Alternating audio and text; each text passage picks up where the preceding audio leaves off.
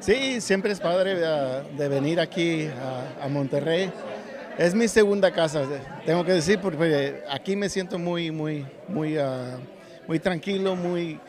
Me gusta pasarla bien y me gusta conocer la ciudad y siempre llego unos días antes que el, del grupo, llego yo y me voy a conocer y pasarla bien. La última vez que hablábamos por Zoom me dijiste que habías encontrado el amor en Monterrey. Ah, bueno, me enamoré y me divorcié. Ah, ¿Qué pasó? ¿puedes compartir? No, prefiero no. Pero te emocionaste mucho con... Sí, me enamo- ah, sí. ¿Quién no se va a em- em- emocionar eh, cuando estás con la persona que, que amas y a veces las cosas no, no salen como, como quieres, pero... Perfecto. Hay un nuevo integrante de Regiomontano, si le gustas presentar al Sí, público. este es el nuevo integrante de la mafia, es de aquí de Monterrey. Que se presente aquí.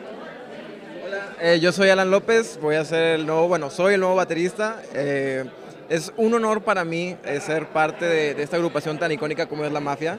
Estoy muy agradecido con Oscar y con Mando que se han portado unos tipazos, me ayudaron desde un principio y pues se viene una nueva etapa a partir de pues ya 40 años de carrera y todavía los que faltan. ¿Escuchabas a la mafia antes de que ellos te eligieran? Sí, claro, claro. O sea, es una banda que a lo mejor si no estás muy relacionado al músico, la música norteña o tejana, como quiera conoces. O sea, han cruzado fronteras, entonces todo el mundo conoce a la mafia. ¿Qué- ¿Qué representa para ti este nuevo reto en tu vida? Es, ah, creo que es el clímax hasta ahora, o bueno, es el, el punto más alto hasta ahora de, de mi carrera. Eh, y estoy muy feliz, estoy muy agradecido por la oportunidad. Obviamente, pues echarle todos los kilos de aquí para adelante. Y me siento muy feliz aparte de que mi presentación oficial sea en la Arena Monterrey, en Monterrey, siendo de Monterrey. Siempre buscamos ah, nueva energía, ah, buscamos a alguien que tiene mucho talento y yo creo que, bueno, Mando se encargó de, Mando y David fueron los que escogieron a, Alan y Lo más importante siempre es la, la química humana. Y eso es lo que primero ah, siente uno. Y el talento ah, también es importante, pero es igual importante la, la- la química y la, la sentimos muy bien con, con- con Alan.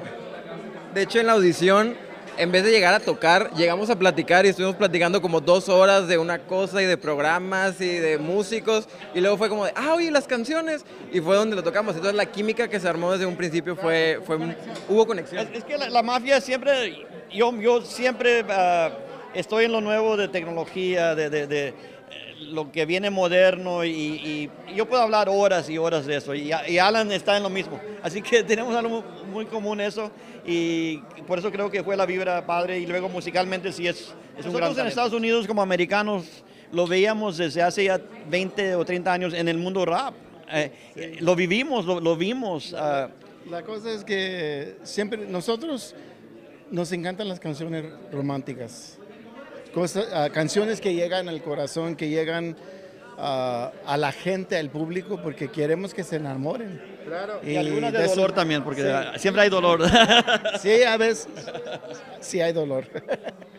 Eso, eso, eso existe. En No, los respe- respetos a, a los que tienen sus géneros. ah, siempre va a haber diferentes culturas, diferentes.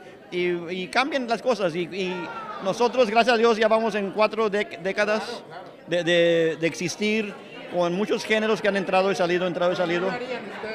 No, no, no es de nosotros. No, no es, no Ah, viene un dueto pa- de, de, de la canción de Juan Gabriel con, con Shaila y, ah, y luego viene otra con Yair. Yair. Y viene también ah, un homenaje que la disquera de nosotros, Universal, ah, le está haciendo a Vicente Fernández con varios artistas. Y nosotros ah, grabamos un tema pa- para ese disco también. Y esa es la- la- las llaves de mi alma. 10 años de la muerte de Jenny Rivera, algo que quieran compartir con el público. La verdad, ah, yo, yo tuve la oportunidad de cono- conocer a Jenny en una ocasión en Las Vegas. Tuvimos una junta, ah, bueno, fuimos a comer, ¿no? Era, era- no, era el cumpleaños de Raúl de Molina, de, de Gordo la Flaca. Y estaba Jenny Ah, y qué, qué linda persona, de veras. ah, y, y- y no parece 10 años, parece que fue ayer. Honestamente parece que fue ayer. No, le echamos mucho menos. Sí, tuve la oportunidad de conocerla y fue algo muy, muy padre porque la verdad yo, yo no la conocía ah, y cuando la conocí ah, platicam- platicamos un poco y bueno, estuvimos ahí comiendo y platicando y, y disfrutando eh, en Las Vegas. So, ¿A ella le rendirán homenaje ahora que se cumple esta década? ¿Cómo? ¿Le rendirán homenaje a través de alguna canción? ¿Nosotros? ¿Ustedes? ¿O No, no. cantando algún éxito de ella? No, la verdad no. Ah, ah, porque yo creo que todos están haciendo homenajes.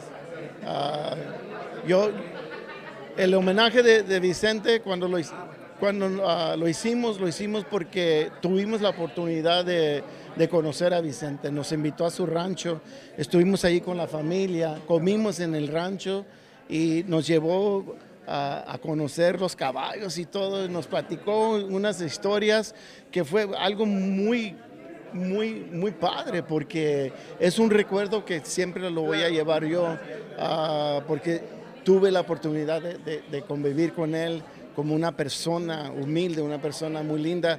ah, en varias ocasiones, porque también nos- ah, eh, fuimos invitados a unos shows en, en- en Texas, en diferentes lugares. Así es que yo tuve la oportunidad de, De convivencia. de- sí, sí, de convivencia, sí, de conocer. Eh, una estrella, una estrella grande. Muchas gracias. No, de nada, gracias a ustedes. Gracias. Gracias.